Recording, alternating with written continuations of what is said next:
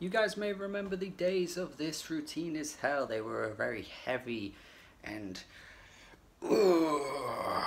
noisy band, but they rebranded themselves as Swain and became more of like a, a post grungy alternative rock band.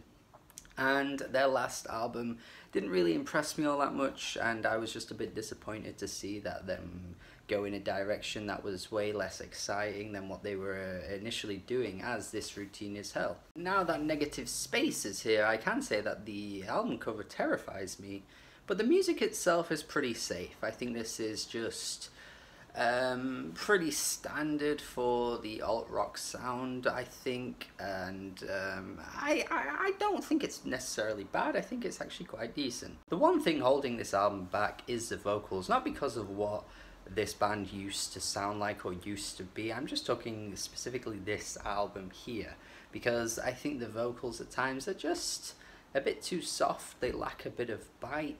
And it's a bit of a shame because the first three tracks on this album uh, don't have those issues at all. I think the first track is a great introduction to the album. It gets things kicking off. You just know that you're going to get some really solid rock tunes through and through and then the second track is the best track on the whole album so it, I was even more excited. But just as the album goes on I feel like it gets slightly more and more vanilla which is really weird. I would say a common trend these days uh, with albums is that you get like the first few tracks that are great and then after that uh, things just take a bit of a nosedive. I've, I've noticed this so many times uh, when you hear as many albums uh, as I have, I, I, just I just think it is a bit of a weird trend. You just start getting these really soft rock tunes, and the instrumental is actually quite nice on the ears. But the guy's vocalist is just so nondescript over these instrumentals that it drags the songs down a bit. But they are nice to listen to, and the the best they they do it is the final track where it just feels like such a wholesome ballad to end the album on and it feels like they finally get what they were going for on the previous tracks right. It just feels like some American football uh, self-titled type um, guitar tones that just sound so lovely on the ears. Nothing too crazy going on.